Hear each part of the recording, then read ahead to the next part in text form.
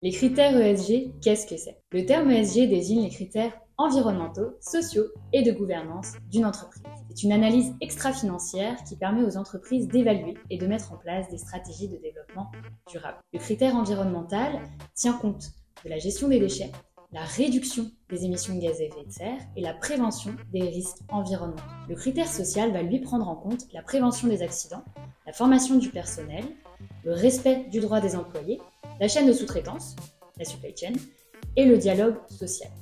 Le critère de gouvernance va quant à lui vérifier l'indépendance du conseil d'administration, la structure de gestion et la présence d'un comité de vérification des comptes. Tous ces critères sont regroupés dans un reporting. Mais qui cela peut-il intéresser? Le reporting ESG intéresse aussi bien les salariés que les clients, les sous-traitants, mais surtout les investisseurs. Vous pouvez publier ce reporting sur votre site web, cependant cela n'est pas une étape obligatoire.